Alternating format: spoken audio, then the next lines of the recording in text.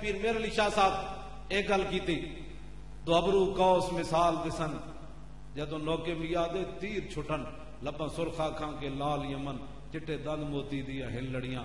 پیر صاحب فرما دین حضور دے دندان اس طرح جس طرح ادم دے موتی ہوندے تے حضور دے لب ایویں جے یمن دے لال ہوندے امام احمد رضا بریلوی اٹھے، انہاں کیا جناب تہاڈی گل سبحان اللہ، لیکن میں اس تو اگلی گل کرنا۔ امام احمد رضا بریلوی اٹھے تو انہاں کیا حضور تہاڈی گل سبحان اللہ، لیکن میں اگلی گل کرنا۔ اعلی حضرت کہندے آب درے دنداں سے ادن ڈوب گیا اور رش کے لبے لال ایسے یمن ڈوب گیا۔ آلہ پیر صاحب نے تو کیا نا در ادن دے موتیاں دی رہا حضور دے دندن۔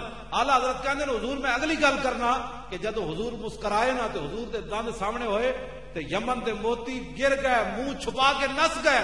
انہاں کیا اسی کتھے تے حضور دے دند کتھے؟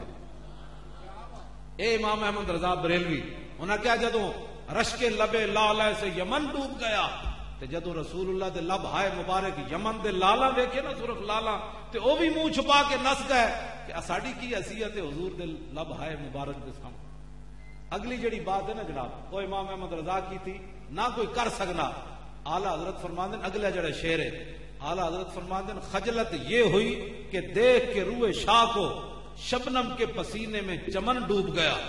اے تو سمجھ نہیں آئی اس گل دی بہت بڑی گل کی تھی امام احمد رضا بریلوی۔ کہ چمن ہوتا نا باغ وہ مختلف قسم کے فل ہوتے ہیں۔